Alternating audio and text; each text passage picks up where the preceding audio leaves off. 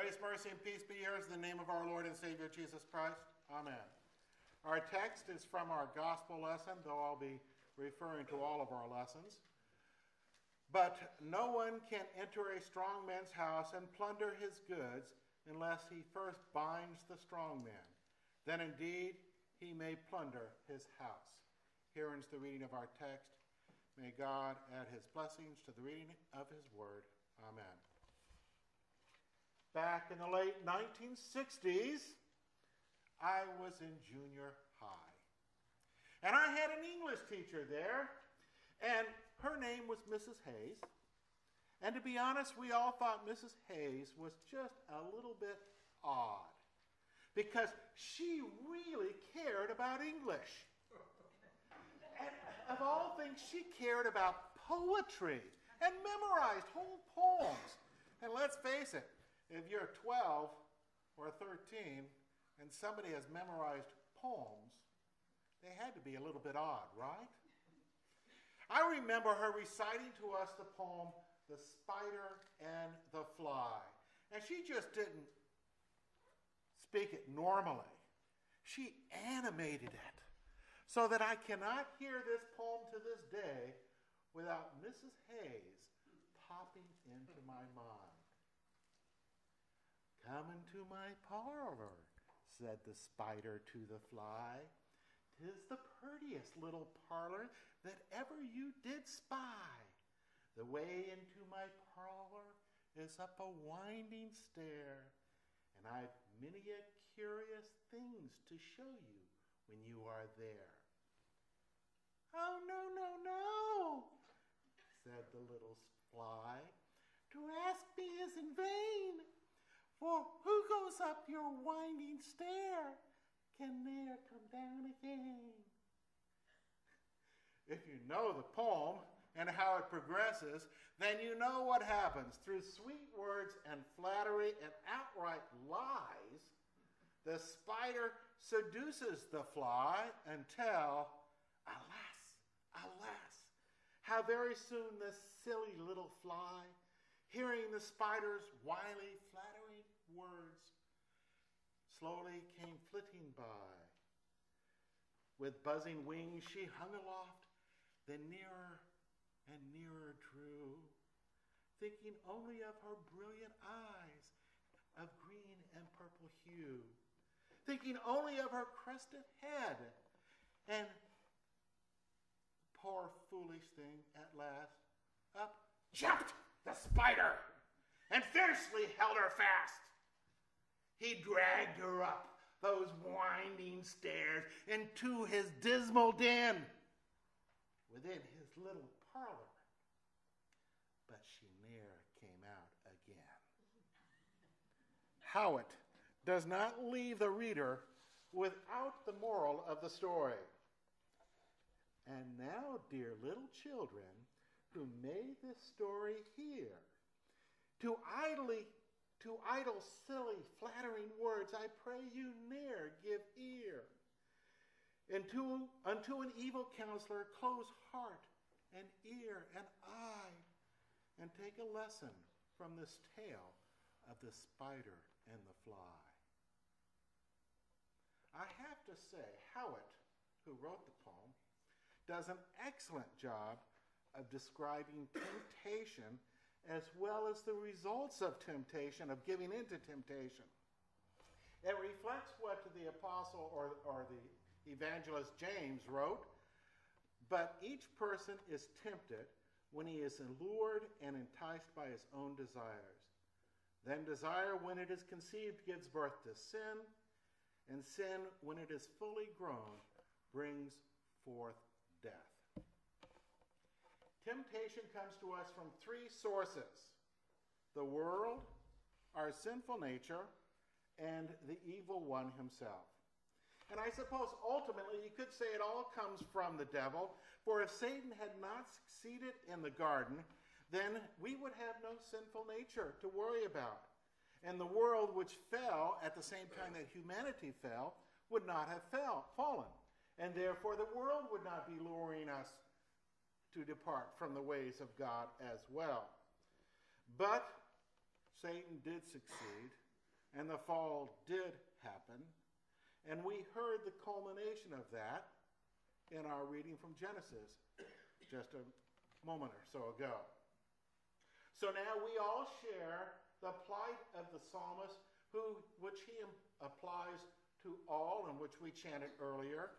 If you, O Lord, should mark iniquities, O Lord, who could stand? The answer to his rhetorical question is, of course, no one. It is as the Apostle Paul wrote, I mean, the Apostle John wrote, if we say we have no sin, we deceive ourselves, and the truth is not in us. Paul wrote, All have sinned and fallen short of the glory of God.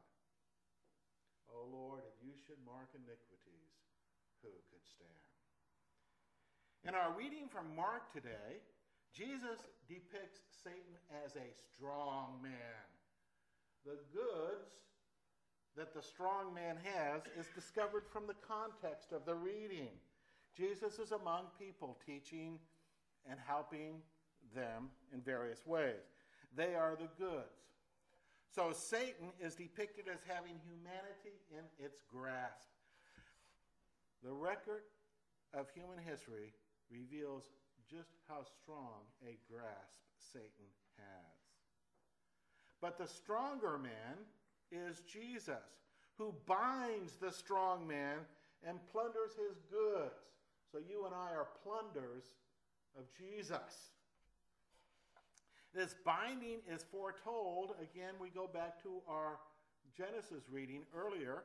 Uh, it's foretold in that reading when God speaks to Adam and Eve of a promised seed who will crush Satan. That promised seed is Jesus. He bound the devil, to use the image from Jesus in our gospel lesson on the cross. If we were to use the image from Genesis, then Jesus crushed the Satan, Satan on the cross, crushed the head of Satan on the cross. And it's this image, by the way, which finds its way into our stations of the cross, which are in the hallway there. And if you look at them as you leave today, you will note that there is a serpent in all of them, and in most of them, it is either biting the heel of Jesus or its head is being crushed by the cross, reflecting that Genesis 3:15 prophecy. The tools of the evil one remain consistent throughout the ages. He calls evil good and good evil. So in the garden, Adam and Eve are called to abandon God's good word for something else. God said, Don't do this. They reject his command and choose their own path, calling good evil and evil good. In our gospel lesson, Jesus is accused of being in league with Beelzebub. Again, calling good evil, and by contrast, of course, evil would have to be good. we see the same thing throughout history and in our country today. That which God clearly identifies as evil is exalted as good. The Nazis in the days of World War II, you know, Germany, that sort of stuff, caught on to this technique and they called it the big lie. The idea is to repeat a falsehood, the bigger the better, so often that it begins to be assumed as truth. That's how they convinced everybody that the Jews were responsible for all that had ever gone wrong in Germany. They just said it over and over and over and over and over until it seemed to be true. It happens in our country today. And I could give all sorts of examples, but uh, this one, uh, you know, is the exaltation of sexual sin, homosexuality, sex outside of marriage, so forth and so on. It's getting hammered so much that, for example, if somebody says, I got a divorce, We don't even bat an eye today, do we? But what would have happened 75 years ago? Oh, let's get out the scarlet A's. But you just hammer something so much that all of a sudden it seems to be normal okay. The big lie.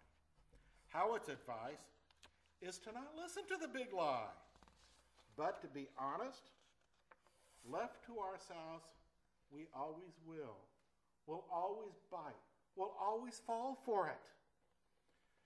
We would be like the fly, slowly coming closer and closer to the spider. We need outside help. No fly, no matter how big or strong or whatever, will come out victorious against a spider. And this is where Howitt's poem fails us. She would direct us to our own resources, but our resources are just too limited.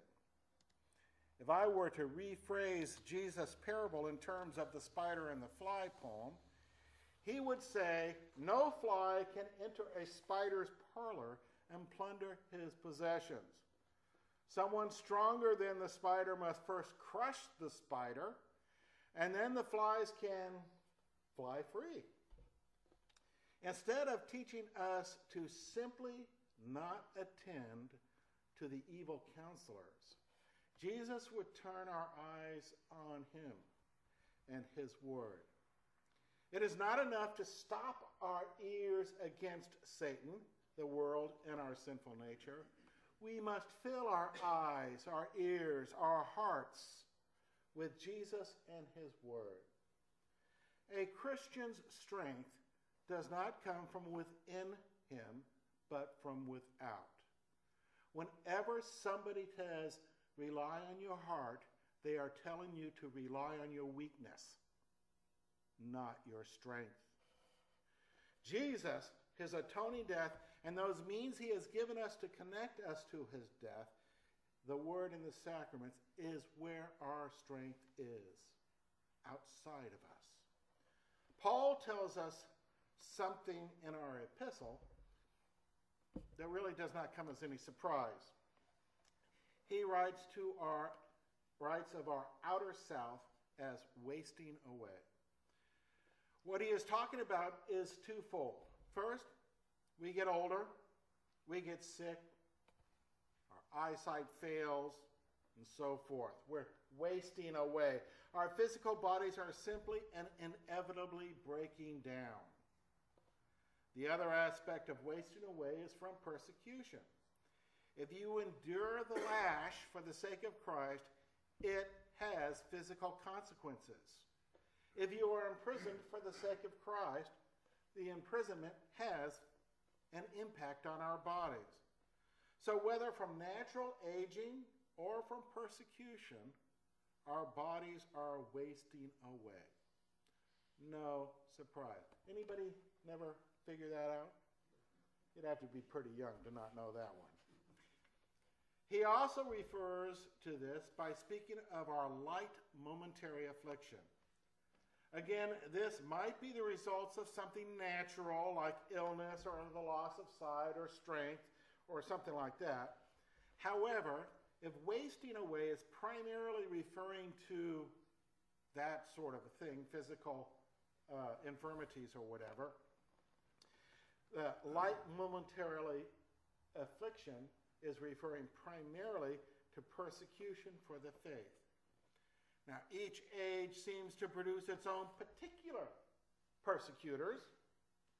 Currently, of course, probably the radical Muslims would jump into our minds as the main culprits in persecuting Christianity. However, as I was growing up, and as many of you were growing up, how often did you hear about the godless communists? Right? And they were big persecutors of Christianity. Religion in, in general, they don't like, but specifically, they despise Christianity and Christians were sent off to Siberia or executed on a regular basis. By the way, the Lutheran Church is alive and well and going gangbusters in Siberia because that's where they all got sent. you know. But before the USSR was around, the Nazis persecuted Christianity. If you weren't willing to conform to their national church, which was not a church, uh, you paid the price by either uh, concentration camp or execution. And before them, the Ottoman Turks. And these are just examples from the West and from the 20th century. If you were to go to the website Voice of the Martyrs, you would find other persecutors in other parts of the world. And if you go to earlier generations, you find persecution from uh, just about any source that is non Christian. But in spite of the effects of aging and sickness and the like, as well as the attacks of evil or the evil one against Christ and his body through persecution that we find in the world, Paul tells us we do not lose heart. These things are light, momentary afflictions. Now, it may not feel that way when we're going through them, but in the scales of eternity, they certainly are fleeting. So, Paul points us to the eternal weight of glory beyond all comprehension. The afflictions of this world are the things that are seen. Our heavenly splendor is part of the things that are unseen. With that view in mind, we are encouraged to endure our current trials in hope. That hope is found in the one who crushed the spider, who crushed Satan when he died on the cross and rose three days later. Death was not able to hold Jesus. It is into that victorious death that we were baptized, as Paul told the Romans. Do you not know that all of us who have been baptized into Christ Jesus were baptized into his death? This is not a sim- simply a symbolic ritual, but a real sacramental union through which we died to sin and were raised to new life in Jesus in our baptismal with Jesus, union with Jesus, we defeated Satan. Therefore, we do not lose hope. In the Lord's Supper, that sacramental union is strengthened. In that sacred meal, we receive, as he said, his body that was broken for us and his blood that was shed for us. We receive them, as he said, for the forgiveness of our sins and as Luther said in his small catechism, where there is forgiveness of sins, there is life and salvation. In the sacrament of the altar, we also find then the stronger one, our Lord Jesus, who defeated the strong one. So we do not lose hope. Jesus also comes to us in his word. As Jesus said, his word makes us clean. The word of God is living and active. It is called the word of life, the word of truth, the sword of the Spirit, and many other wonderful things.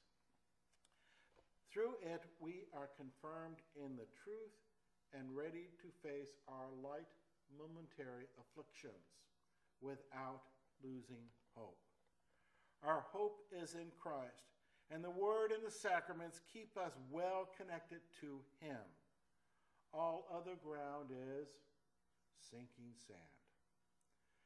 So when we are tempted, lured, or enticed to enter the spider's parlor, we indeed do not give credence to those lying lips, but we do not find the strength to resist from within.